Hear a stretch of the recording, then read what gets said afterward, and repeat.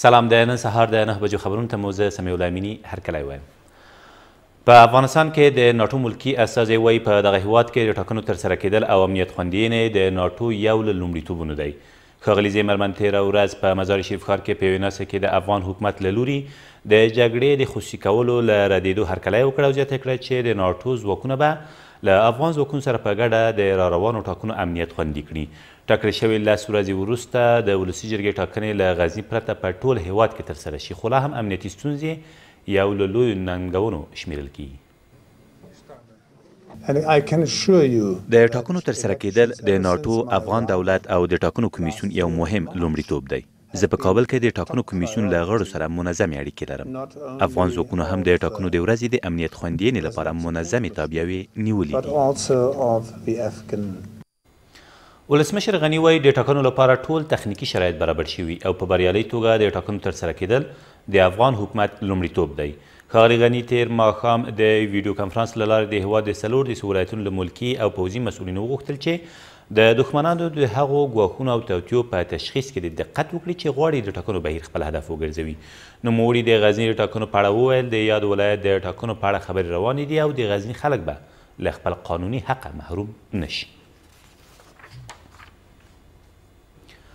په ورته وخت کې ولسمشر غني وایي، د دښمن تبلیغات په ټاکنو کې د ګډون لپاره د افغانانو د ارادې خنډ نه شي کېدای او د ټاکنو امنیت د ټینګښت ډاډ یې ورکړ. ښاغلي غني تېره ورځ د وسلهوال پوځ په اعلا سرقوماندانۍ غونډه کې زیاته کړه چې افغان ځواکونه به د ټاکنیزو سیالیو او رایې ورکولو لپاره امنه فضا برابره کړي دا په داسې حال کې ده چې دوه ورځې مخکې طالبانو د ولسي جرګې د راروانو ټاکنې جعلي وبللې او د امریکا یوه دسیسه وبلله او له خپلو کسانو یې غوښتي څو د دغه بهیر د سرته رسیدو مخه ونیسي. د بادغیس پر قادس ولسوالۍ د طالبانو ډله ییز برید په شا وتنبول شو. د دغه ولایت د امنیه قومندانۍ ویاند نقیب الله امیني وایي په دغه برید کې چې تېره شپه ترسره شوی د طالبانو د دوو قومندانانو په ګډون څوارلس طالبان وژل شوي او دوه ویشت نور یې ټپیان دي. د نوموړي په وینا په دې لړ کې یو افغان سرتیري هم خپل ژوند له لاسه ورکړی او دوه نور یې ټپیان دي. طالبان با انجام حملات گروهی شان هدف داشتند که ولسوالی قادس ولایت بادغیس را تصرف که با پرداختن تلفات سنگین مجبور به فرار شدند مولوی عزیز الله و مولوی کریم اثر گروپان طالبان هستند که با شمول 14 تن دیگر شورشیانشان کشته و 22 تن دیگرشان زخم برداشتند در پایان این درگیری ها یک سرباز اردوی ملی به هدف دفاع از وطن شهید و دو تن دیگرشان مجروح شدند